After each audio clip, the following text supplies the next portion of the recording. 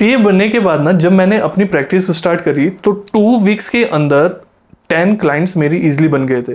और जिसमें से ना चार ऐसे क्लाइंट्स थे जो मेरी जान पहचान में थे नॉन में थे।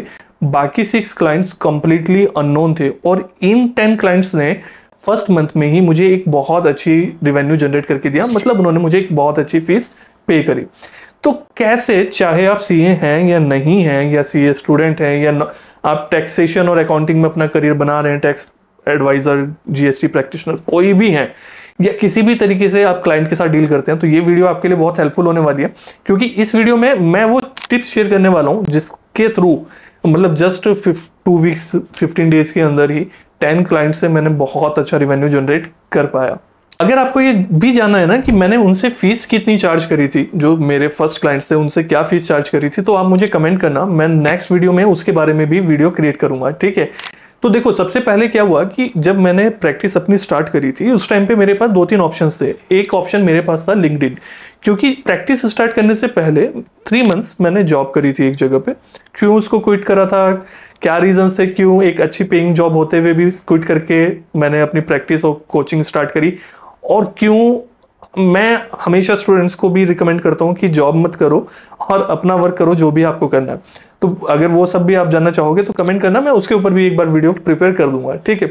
तो मेरे पास क्या था कि जॉब अप्लाई करने के लिए, अपने लिंकडिन को जो मैंने ग्रो किया था, उस, वो एक कम्युनिटी मेरे पास थी, वो लिंकडिन पे फॉलोअरशिप मेरे पास थी, और कोई ऐसी बहुत बड़ी नहीं आई थिंक उस टाइम पे सिर्फ़ टू थाउज़ेंड के अराउंड फॉलोअर्स थे, ठीक है? तो वो लिंकडिन की जो फॉलोवरशिप थी, उसको मैंने यूज़ किया। अपना कंटेंट को कॉन्टिन्यूसली मैं लिंकडिन पे पोस्ट करता रहा कि हाँ ये प्रैक्टिस स्टार्ट है। उसको छोटा सा एडवर्टाइज करता था बट प्राइमरीली मैं एजुकेशनल उस पर इंफॉर्मेशनल कंटेंट शेयर करता था। बट क्योंकि उससे पहले भी मैं कंटेंट कॉन्टिन्यूसली शेयर करता आ रहा था तो इसलिए लोग मुझे जानते थे। हाँ बट उससे पहले मैं थोड़ा सा अपनी जॉब के फोकस कंटेंट शेयर करता था। इमीडिएटली मैंने स्विच किया किस पे? अपने टैक्सेशन प्रैक्टिस से रिलेटेड अपनी सीए प्रैक्टिस से रिलेटेड बट क्योंकि कम्युनिटी थी, लोग मेरे क्वालिटी कंटेंट को प्रेफर करते थे, उनको अच्छा लगता था तो वो उस चीज़ को उन्होंने समझा और वहाँ से भी मुझे काफ़ी सारे क्लाइंट्स मिले। तो अगर आप ये सोच रहे हो ना कि सिर्फ़ ऑफलाइन ऑफलाइन ही क्लाइंट्स मिलेंगे, ऐसा नहीं है। आप ऑनलाइन भी क्लाइंट्स को टारगेट हमेशा कर सकते हो। वहाँ से भी एक अच्छी अप्रोच मतलब आपको जो क्लाइंट टेल है ना, वो अच्छी वहाँ से आपको मिलेगी।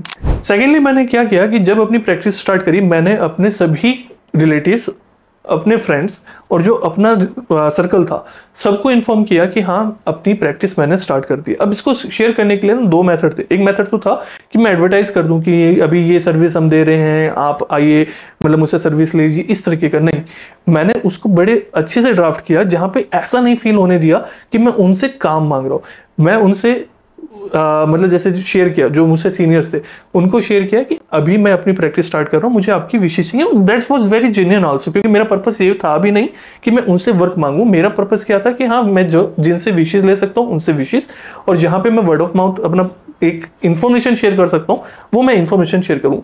डायरेक्ट मार्केटिंग अगर मैं स्टार्टिंग में करता ना तो लोगों को लगता है, जो अपने नोन में थे, कि मैं उनसे काम मांग रहा हूँ। बट अब क्योंकि उनकी नॉलेज में आया तो वो मेरे पास काम लेकर आए, और यहाँ पे अभी बात समझो मैं जब अगर सामने से काम मांग रहा हूँ तो फ़र्क क्या पड़ता है? वो सोचते हैं कि मेरी रिक्वायरमेंट है। जब वो काम लेके वो आते हैं ना तो उनकी रिक्वायरमेंट बन जाता है। इससे फ़र्क वैसे कुछ नहीं पड़ता बट क्लाइंट ना आपकी वैल्यू ज़्यादा करता है और फ़ीस आपको प्रॉपरली पे करते हैं।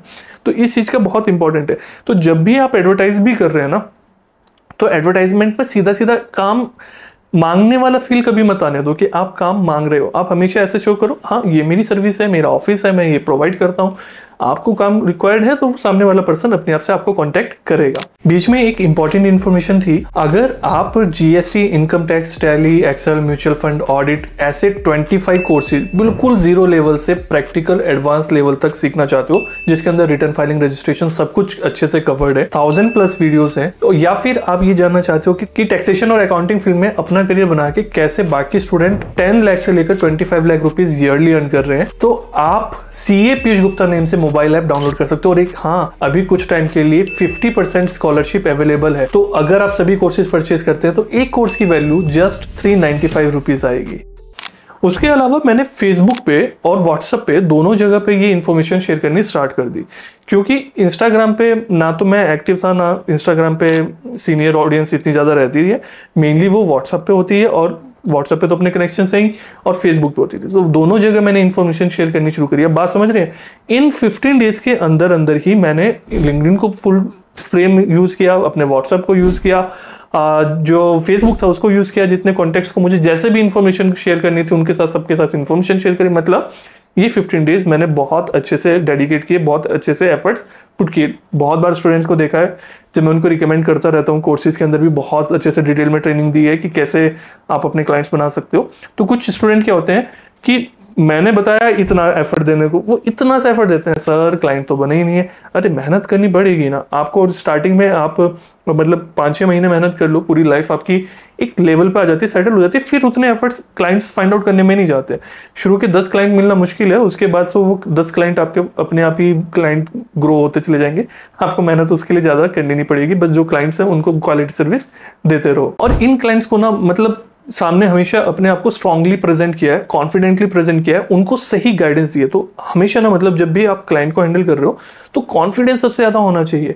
ऐसा ज़रूरी नहीं है कि हर चीज़ की नॉलेज आपको इमीडिएट बेस पे हो बट कॉन्फिडेंटली उनको टैकल कैसे करना है वो आपको पता होना चाहिए कि हाँ आ, मतलब अगर सामने क्लाइंट ने आपसे कोई कुछ क्वेश्चन पूछा है तो आप उसका रिप्लाई प्रॉपरली दे पाए और अगर आपको नहीं पता है तो भी उसको कॉन्फिडेंटली आप कन्विंस कर पाए कि ठीक है, ये इन्फॉर्मेशन मैं चेक करता हूँ, एक बार मुझे देखना रहेगा। तो वहाँ पे कोई प्रॉब्लम ऐसा नहीं क्योंकि कभी भी कुछ नहीं ऐसा हो सकता है कि हंड्रेड परसेंट नॉलेज आपको हमेशा हो। क्योंकि आप एक चीज़ समझो ना कि इंग्लिश हिंदी आप बचपन से बोलते आ रहे हो मतलब बचपन इन द सेंस कि कब से बोलते आ रहे हो, सीखते आ रहे हो। बट क्या हर एक वर्ड का मीनिंग आपको आता है? हिंदी में भी नहीं आते हैं आपको।